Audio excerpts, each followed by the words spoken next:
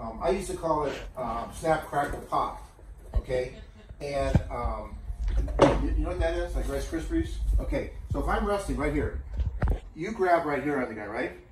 No, I don't do that. Okay, I can't control his arm. Move your arm around. Move, move your arm out of there. Okay, now put your arm back up.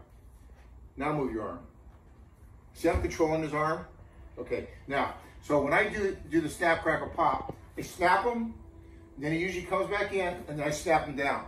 Now from there, he's gonna come up, right? When he comes up, this is the most important, this hand right here, because I want to pull this arm that way.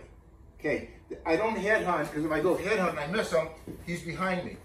So what I want to do is I want to throw my hand over his back. So from here, when I take this point, this hand goes in, and that hand goes over the back. Now, scoot over, scoot, scoot, scoot this way. Scoot, scoot, scoot, scoot, keep going. Okay, now, once I land, okay, bridge. Okay, nine, seven, right? Okay, back up. Now, 12, what's this? Uh, nine. Nine. And what I do, I grab my thigh. Go ahead and bridge. You think you can bridge out of here? Okay, you like this better so far?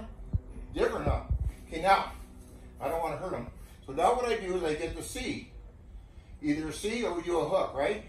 We get a C, we go underneath his elbow. We, as soon as we clear the head, he's a little small for me.